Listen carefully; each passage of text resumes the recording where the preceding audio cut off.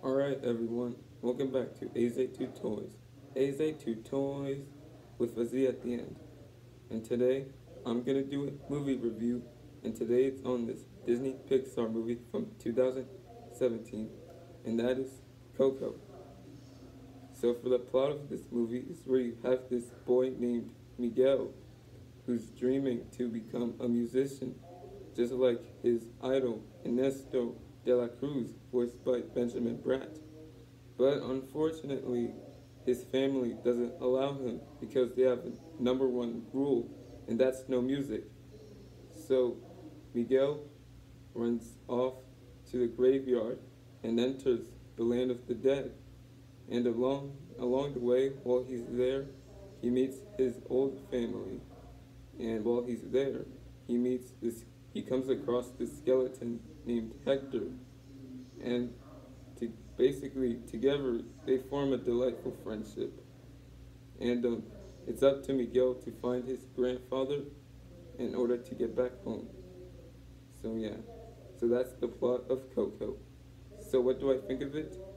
This is a great Pixar movie from 2017. Yeah, it's my favorite Disney movie of all time. I remember I remember watching this movie on Disney Plus last time, and it was good. It has good animation in it, because you know it's just Pixar. Remember I said that in my movie review on Finding Nemo? Yeah. And this movie is directed by Lee Unkrich, who's also known for directing Toy Story 3, and the co-director, Adrian Molina, the story artist on Monsters University and they both do a great job directing this film.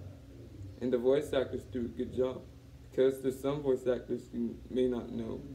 I thought the boy who played Miguel, he did good, and um, the actress, the actress who played Hector, he did a distant job.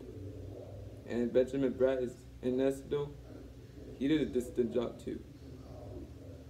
Well, I just want to remind you, I'm on spring break. So yeah, because um, I'm off on school and I don't go back till April 17th, which is a Monday. So I just want to remind you that. So um, yeah, but just ignore that for now because if you're on spring break, then that's fine. We're all on spring break. So um, Coco is a great Pixar movie from 2017. That's it for the review and see you next time.